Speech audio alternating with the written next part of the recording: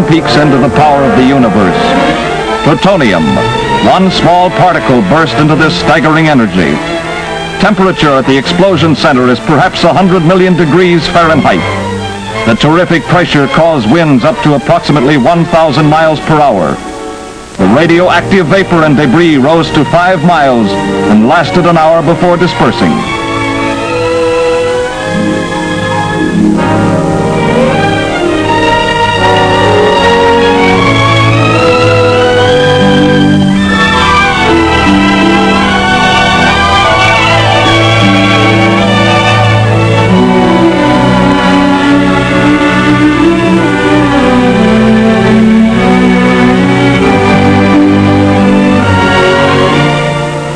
The inspection and salvage fleet moved cautiously toward the target area, testing for radioactivity with Geiger counters.